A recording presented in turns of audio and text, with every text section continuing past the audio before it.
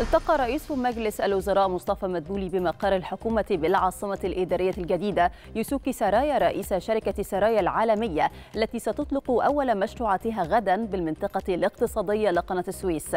مشروع شركة سرايا العالمية هو مجمع صناعي يضم أربعة مصانع سيخصص جزء من إنتاجها للسوق المحلية والجزء الآخر للتصدير في مجال أدوات النظافة العامة. كما يعد المجمع هو الأول من نوعه في أفريقيا والشرق الأوسط وتتطلع الشركة إلى الاستثمار في عدد من الأنشطة الأخرى في المنطقة الاقتصادية لقناة السويس.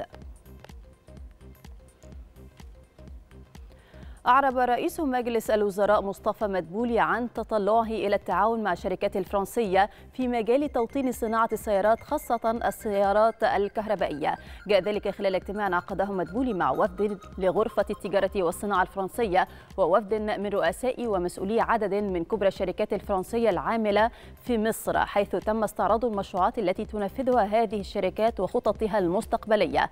في غضون ذلك استعرض مدبولي الإجراءات التي اتخذتها الحكومة لا سيما الإجراءات التشريعية لتهيئة مناخ الاستثمار وخلق بيئة عمل جاذبة مشيرا في هذا الصدد إلى الحوافز التي تمنحها الحكومة للشركات في إطار قانون الاستثمار.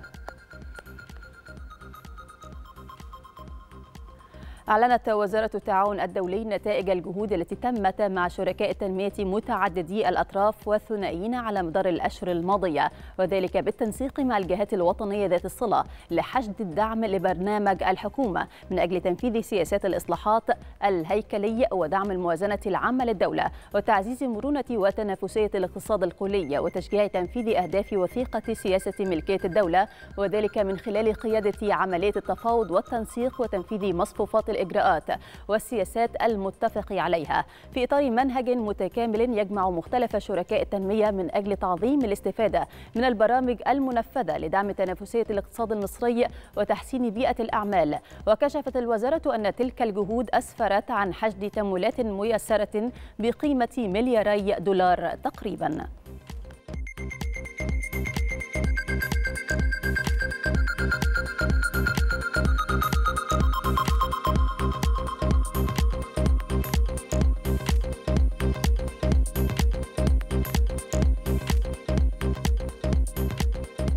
أظهرت وثيقة مصرفية طلعت عليها رويترز أن شركة تنمية طاقة عمان المملوكة للدولة تعتزم طرح صكوك مقومة بالدولار لأجل سبع سنوات. وذكرت الوثيقة أن من المقرر أن تبدأ اجتماعات المستثمرين اليوم.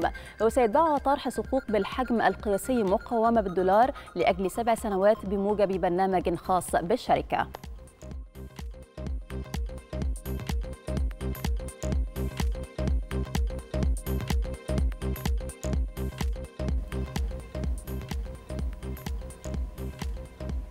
أظهرت بيانات من الهيئة العامة للإحصاء في السعودية تراجع الصادرات البترولية للمملكة بنسبة 4.2% في أبريل على أساس سنوي.